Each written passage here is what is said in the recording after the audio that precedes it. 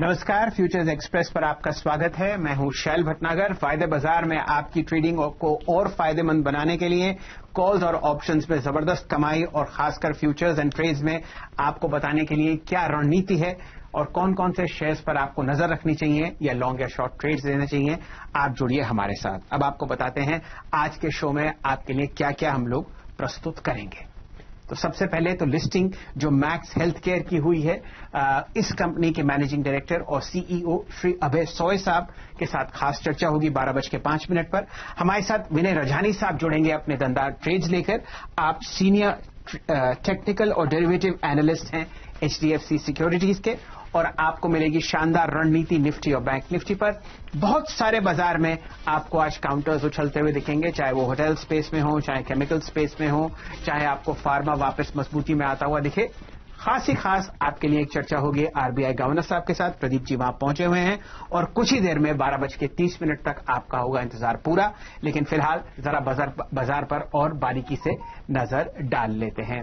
हमारे साथ शायद विनय रजानी साहब जुड़ी चुके हैं उनका दर्शन कर लेते हैं और उसके बाद जरा निफ्टी और बैंक निफ्टी पर नज़र डालते हैं। विनय जी आप हमारे साथ जुड़े हुए हैं? Yes yes Shailendra ji. जी नमस्कार आपका स्वागत है। जरा मैं निफ्टी और बैंक निफ्टी खासकर मिड कैप्स पर नज़र डाल लेता हूँ फिर आपके साथ जुड़ता हूँ। चलिए निफ्टी आपके सामने चौहत्तर अंक ऊपर ग्यारह के आसपास आपको ट्रेड करता हुआ दिखेगा। आज आखिरी वीकली एक्सपायरी का पहला दिन है और 27 अगस्त को आप इस आज़ादी की एक्सपायरी को अंत होते हुए देख रहे हैं। तो आखिर सत्र में हम लोग आज एफएनओ के मार्केट में हैं।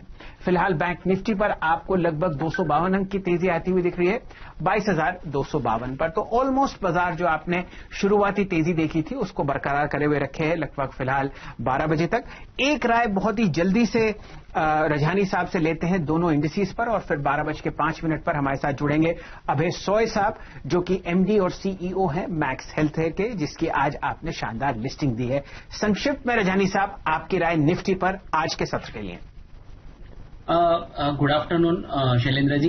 Nifty पे राय बुलिश है बैंक निफ्टी पे भी राय बुलिश है। निफ्टी में 11370 से 11400 के लेवल्स पे लॉन्ग करना चाहिए। 11200 को 90 कभी ट्रेल स्टॉप लॉस हो गया है तो इसके स्टॉप लॉस से आप लॉन्ग रह सकते हैं और फ्रेश लॉन्ग भी कर सकते हैं अराउंड दिस लेवल्स एंड आपका अपसाइड टारगेट ग्यारह का होना चाहिए नेक्स्ट दो तीन सेशन में। और बैंक निफ्टी की बात करें तो बैंक निफ्टी में बाईस से लेकर बाईस के बीच में बाय करना चाहिए। और मुझे यहाँ से लग रहा है कि जिस तरह से बाज़ार टिका हुआ है बैंक निफ्टी का अंडर परफॉर्मेंस अभी आउट परफॉर्मेंस में कन्वर्ट हो सकता है। तो बैंक निफ्टी में ज़रूर से ध्यान रखिएगा। जैसे ही बाईस चार सौ का लेवल क्रॉस होगा तो एक ज़बरदस्त शॉर्ट कवरिंग हम देख सकते हैं। तो मेरा बायस ज़्यादा पॉजिटिव बैंक निफ्टी में यहाँ से। तो बाईस दो सौ तीन सौ के बीच में लीजिए। स्टॉप लॉस इक्कीस नौ सौ का रखना चाहिए। और अपसाइड में बाईस हज़ार आठ सौ पचास के टारगेट नेक्स्ट दो से तीन सेशन में पॉसिबल है। जी। रजानी साहब, आप जरा थोड़ा सा इंतज़ार कीजिए। हमारे साथ श्री अभय सोय साहब जुड़े हुए हैं। आप मैनेजिंग मैक्स हेल्थ केयर की। रजानी साहब के पास वापस आएँगे। विनय जी, बहुत ही शानदार, तेज़ी एफएनओ में। सबसे पहले तो अपने दो पिक्स शेयर कीजिए और फिर बताइए कहाँ आपको और तेज़ी आती हुई दिख रही है। आपके दो कॉल्स आज के सत्र के लिए श्री गणेश कीजिए।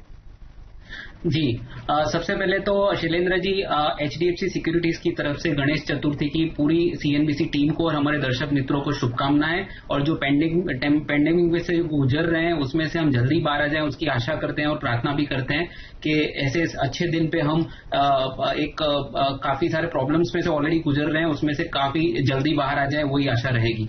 जहाँ तक स्टॉक्स की बात है डेरिवेटिव पिक्स में मेरे हिसाब से लॉन्ग ही करना चाहिए और मेरी दो ट्रेडिंग पिक है जो दोनों लॉन्ग साइड पे ही है। सीमेंट्स का ऑगस्ट फ्यूचर हम ले सकते हैं, जो 1238 के आसपास चल रहा है। सीमेंट्स में हमने देखा था कि और एक 200 दिन की एक्सपोनेंशियल मूविंग एवरेज क्रॉस हुई है। पिछले तीन चार सेशन में एक कॉन्सोलिडेशन हुआ और वापस से अप ट्रेंड रिज्यूम होने के चांसेस दिख रहे हैं। तो ऑगस्ट फ्यूचर सीमेंट्स का वन टू थ्री एट पे लीजिए। 1210 का एक ट्रेडिंग स्टॉप लॉस लगाना चाहिए और अपसाइड में 1300 का टारगेट हम एक्सपेक्ट कर सकते हैं। सेकेंड पिक मेरी ऑटो सेक्टर में से टायर टायर स्टॉक्स है। अपोलो टायर अपोलो टायर में भी एक फ्लैग पैटर्न का ब्रेकआउट आता हुआ दिख रहा है और उसमें भी एक मूविंग एवरेज और इंडिकेटर्स ऑसिलेटर्स का सेटअप काफ़ी पॉजिटिव है और अच्छा खासा आउट परफॉर्मेंस हम ऑटो सेक्टर में से तो देख ही रहे हैं। तो टायर स्टॉक्स में अपोलो टायर ऑगस्ट फ्यूचर 131 के आसपास आप लॉन्ग कर सकते हैं। स्टॉप लॉस आपका 127 का होना चाहिए और अपसाइड में टारगेट आप 140 का एक्सपेक्ट कर सकते हैं। जी। आ, क्योंकि अपोलो टायर की पहले चर्चा हुई है डायरेक्टर साहब जरा आप इसका स्टॉक दिखाइए। फ़िलहाल आपको कुछ समय की गिरावट के बाद आपको ये स्टॉक वापस ऊपर की तरफ़ बढ़ता हुआ दिख रहा है। 200 डीएमए से बिल्कुल नीचे लेकिन चार दिन की अच्छी गिरावट और अब पोजिशनली आपको रजहानी साहब सजेस्ट कर रहे हैं कि आप यहाँ पर लॉन्ग कॉल लीजिए। एक सौ इकतीस बीस का प्राइस मेरे सामने कैश में।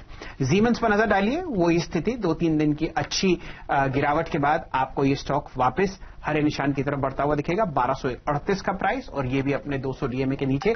आज कंपटीशन कमीशन ऑफ़ इंडिया द्वारा एक इनको हरी झंडी दिखाई गई। सीएनएस इंजीनियरिंग का जो इन्होंने अक्वायर किया था लगभग 2100 करोड़ रुपए का, उस ट्रांजैक्शन को हामी सरकार की तरफ़ से मिलती हुई दिखी है। विनय जी, जरा बाज़ार पर और बारीकी से नज़र डालिए। यहाँ पर आप बहुत अच्छी तेज़ी आते हुए दिख रहे हैं बैंकिंग काउंटर्स पर। 18 के 18 बैंक मुझे हरे निशान में ट्रेड करते हुए दिख रहे हैं। एफएनओ में कम से कम एचडीएफसी बैंक और आईसीआईसीआई बैंक पर हमारे यहाँ सुबह से एक लंबी कॉल चल रही है।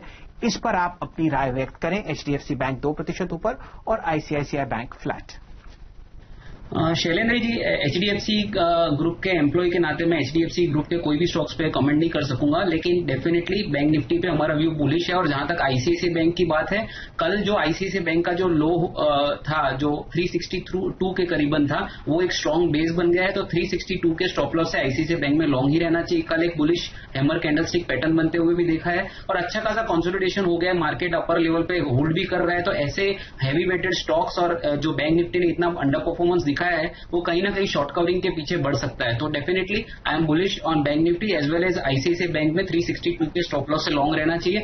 और ऐसा हो सकता है कि आने वाले दिनों में हम आईसीआईसी बैंक को उसकी 200 दिन की एक्सपोनेंशियल मूविंग एवरेज जो करीबन 391 पे है, वहाँ तक जाता हुआ देखें। तो डेफिनेटली व्यू पॉजिटिव है। ICICI bank hold with stop loss of 362 and with target of 391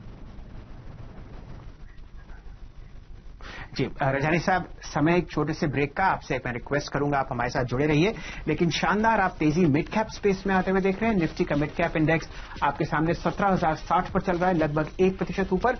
बहुत ही ज़बरदस्त रैली ऑटो एंसिलरी स्पेस में आपको आती हुई दिख रही है और छोटे और मंजिले सॉफ्टवेयर स्टॉक्स इन पर चर्चा करेंगे एक छोटे से ब्रेक के बाद। जुड़े रहिए हमारे साथ। निफ्टी आपके सामने सत्तासी अंक ऊपर दिन के उच्चतम लेवल ग्यारह चार पर।